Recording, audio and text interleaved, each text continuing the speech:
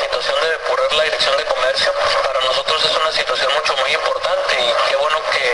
me da la oportunidad para decir a través de su importante medio de comunicación que aquellas gentes que tengan alguna queja en contra de un inspector de comercio que acudan directamente a la Secretaría del Ayuntamiento con el propósito de darle seguimiento. Es importante para nosotros que en esta ciudad se fomente claro el comercio, pero siempre y cuando se lleve a cabo entre los parámetros de la legalidad. Para nosotros es importantísimo de que el comercio esté organizado y que los inspectores llevan a cabo su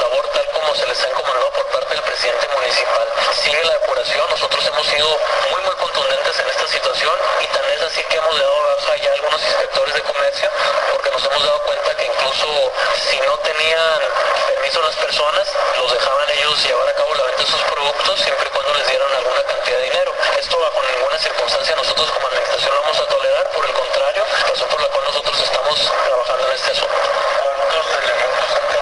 Nosotros hemos dado de baja alrededor de 12 elementos ya a la dirección de comercio. Es un llamado a la población en general a en el caso de conocer la actitud irregular de alguno de los inspectores de la citada dependencia, acudan de manera inmediata a la propia Secretaría